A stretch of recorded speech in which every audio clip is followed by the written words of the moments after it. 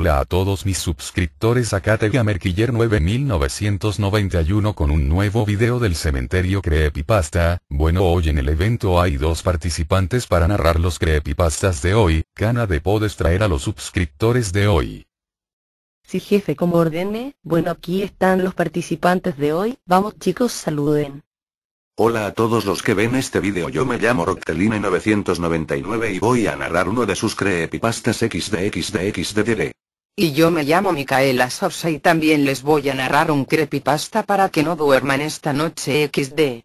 Bueno como ya saludaron les voy a poner los creepypastas que van a narrar, ¿estás listo Rocteline999? Sí sí estoy listo, bueno empecemos.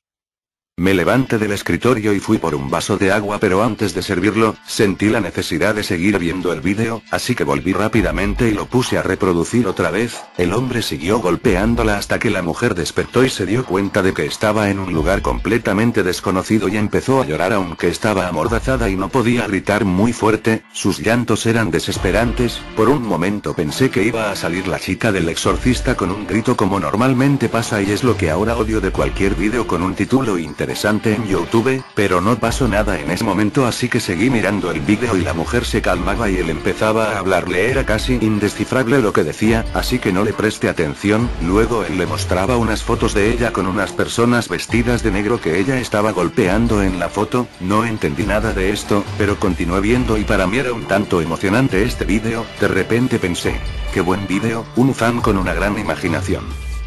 En unos segundos dejé de imaginarme cómo hicieron el vídeo, y empecé a sentir una respiración en mi espalda y una horrible presión en el pecho, como si me estuviera ahogando, pero esto solo me llamaba a ver la pantalla y seguir viendo ese vídeo, y me di cuenta de que la mujer tenía una cuchilla enfrente y un control enfrente de la mano izquierda el cual controlaba el movimiento de la silla. Ella podía subir la silla para cortar las cuerdas de sus manos pero si lo hacía así también iba cortando su estómago y espalda lo cual no podía hacer porque de todos modos moriría, también podía mover la silla hacia abajo para cortar la cuerda que estaba atando su cuello al techo que en 5 minutos alaría hacia arriba ahorcándola según lo que entendí. Pero tampoco podría hacer esto porque también cortaría su rostro y moriría, para mí fue algo imposible escapar de este juego, pero luego de un corte de un segundo se muestra ya un reloj contando desde 20 hasta 0, y después de esos segundos se veía como la mujer moría sin ninguna forma de escapar, luego el hombre se acercaba y mostraba que era completamente real.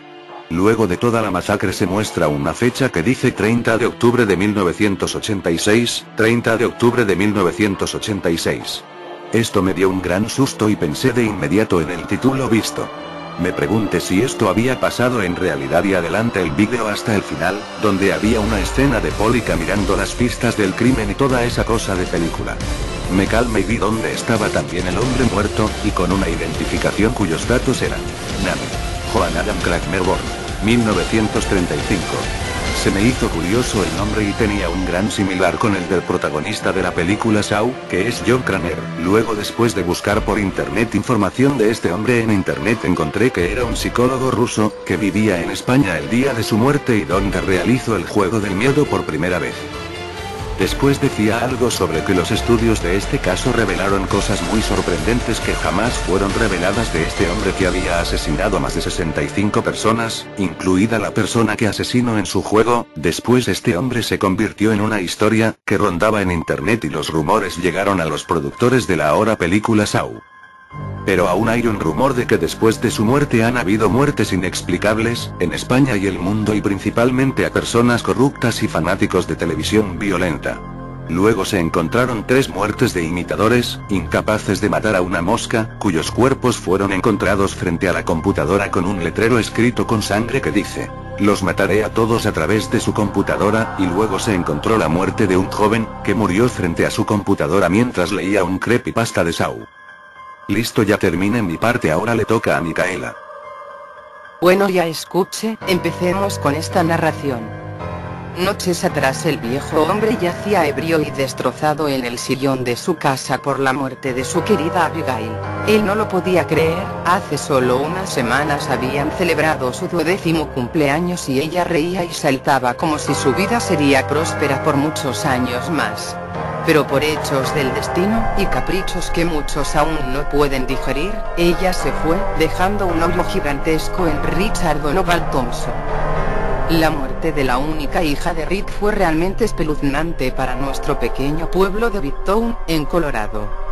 La noticia rodeó no solo el lugar, sino que revoloteó por todo el país como un terrible caso de asesinato y violación, pues según los forenses la pequeña sufrió de múltiples ataques de violación y tortura.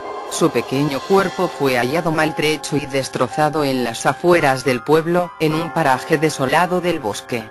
Las descripciones de los profesionales indicaron que fue torturada con varios instrumentos quirúrgicos básicos de un cirujano, como bisturíes, dilatadores y lancetas, para rasgar su delicada piel, y su inocencia. Lo más desagradable y horripilante del caso fue que hallaron el cuerpo de Abigail decapitado y bañado en sangre, y una marca sucia y de protagonismo estaba dibujada en su espalda con carboncillo, el bastón de Esculapio. Yo estuve en la escena del crimen al llevar a Rick preocupado por lo de su hija, sin saber lo que le esperaba ahí. Según me contaba en el trayecto, su hija había salido a las 9 de la noche a la casa de una amiga a una fiesta que ésta ofrecería con sus padres. Le pregunté por qué no la había acompañado hasta la casa de la cumpleañera, y ahí fue cuando el hombre se puso nervioso y comenzó a sentirse terrible y culpable por el caso tartamudeando y pegando la mirada a varios lados a la vez, me contó algo que no le creía al principio. Me dijo que ella ya estaba lo suficiente grandecita como para poder ir sola a la calle, que confiaba mucho en su suerte, y que la zona a donde iba no era para nada peligrosa. Yo lo vi con una mirada de asombro, y pensé, eres una mierda de padre, Rick. Sabía cómo se portaba el hombre, fue mi vecino por más de 15 años y conocía sus actividades, hasta la más minúscula. Trabajaba en obras de construcción y casi todos los días llegaba a casa ebrio a altas horas de la noche solo a golpear a su esposa Margaret, por distintas razones estúpidas. Escuchaba los gemidos de su esposa y sus llantos, y a veces había noches en que no podía conciliar el sueño porque Margaret me buscaba y me pedía ayuda con los maltratos de su esposo. Me molestaba el caso, pero hoy no era algo en lo que me correspondía meterme. Después del nacimiento de su única hija, pasaron seis años para que Margaret se hartara del viejo Rick y lo dejara con la pequeña. Hizo muy mal al hacer eso, y era raro en ella, ya que amaba tanto a su hija que era difícil verlas separadas. Que de la noche a la mañana se esfumara del pueblo sin dejar rastro alguno le pareció raro a los vecinos, y en especial a Rick. Todos esos hechos dejaron consternado al viejo y lo endurecieron en un odio total contra el género femenino, blasfemando y diciendo que eran de lo peor comenzó a hundirse más en el alcohol y yo veía con frecuencia las prostitutas baratas que llevaba a casa. Según entendía, la preocupación por Abigail era mínima y la que siempre velaba por ella era la vieja señora Smith, una anciana bonachona y gentil que vivía al frente de los Thompson. Cuando llegamos al paraje desolado del bosque vimos una multitud de gente rodeando la escena y a varias patrullas en la zona. Al pasearse por el lugar del macabro hecho, Rick reconoció los pequeños zapatos de charol que estrenaría la niña en la fiesta de su amiga bañados en su sangre, ya seca. El hombre quedó anonadado y se puso en blanco. Yo intenté pararlo, pero me consternó su actitud, pues se puso furioso y comenzó a decir estupideces. Maldición, fue una escena sacada de un maldito cuento. En vez de llorar por su hija, sacaba en cara lo estúpida que fue en vida y la gente no lo creía, el padre no lloraba por la muerte de su hija. El entierro de Abigail fue algo desconcertante, del viejo Reed no brotaba ni una sola lágrima y la única que lloraba desconsoladamente enfrente del ataúd era la señora Smith, mientras que los presentes le daban el pésame al viejo hombre y él solo asentía sin decir palabra alguna. La escena me dio tanta pena y coraje a la vez que partí del cementerio del pueblo fui a mi hogar a tomar unas bocanadas de humo de cigarro, pensando en el curioso caso. Pasadas las 11 de la noche, Rick llegó totalmente alcoholizado con una vieja rubia mal maquillada con ropas de ramera de quinta. Ese tipo era de lo peor, ni siquiera en el día del funeral de su hija dejaría el alcohol y el sexo comprado por luto. Esto lo cuento en forma de pasado, ya que hace un par de días fue hallado el cuerpo de Rick, frío y tieso en la parte trasera de su casa. Tal vez fue justicia divina. El cadáver fue hallado desnudo y con quemaduras en varias partes de su obeso cuerpo, con los genitales mutilados, faltándole uno de sus brazos y su rostro era irreconocible por los horrendos martillazos que el homicida le propinó. Lo que les pareció más curioso del caso a los forenses, y los dejó consternados, fue que hallaron la misma marca que encontraron en su difunta hija. Pero esta vez con una frase escrita, también con carboncillo, en su calva y rebordeta cabeza. Así mueren los cerdos. Nadie asistió a su funeral, al parecer todos en el pueblo lo odiaban por cómo era él y por su actitud con todo lo que rodeó la muerte de su hija. Los policías buscaron pistas para hallar al asesino médico. Sí, así lo apodaron por la escabrosa imagen que impregnaba en sus víctimas. Por mi parte, tampoco podía creer lo sucedido. Padre e hija muertos. Escribí unas notas sobre el caso y las actividades que había percibido en la casa de los Thompson y se los mandé a la policía por si les era útil. Lamentablemente, yo estaba en una de mis conferencias en la universidad en el momento del asesinato de Richard, y no pude escuchar ni ver nada.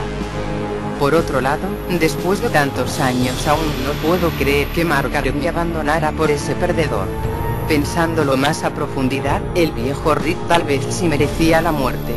Fue por eso, tal vez, que en una de esas noches en las cuales Margaret me fue a buscar le destrocé el cráneo con la base de una lámpara, e hizo que aún conserve el cuerpo embalsamado en el viejo baúl de mi sótano desde hace más de seis años, y aún tiene esa apariencia que me enamoró en mi juventud.